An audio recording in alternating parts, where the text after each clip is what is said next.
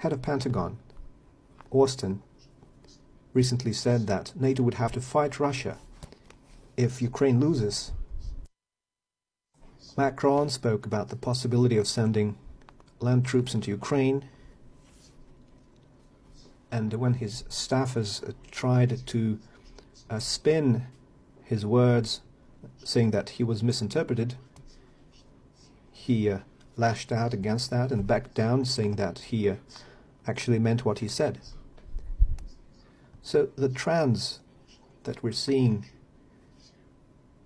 in, among the leadership of Western countries, they certainly speak against the West being interested in a, any kind of political settlement. There are many facts that show that the West is pushing towards a military solution, even despite the fact that an overwhelming body of evidence is showing that this is a course doomed to fail.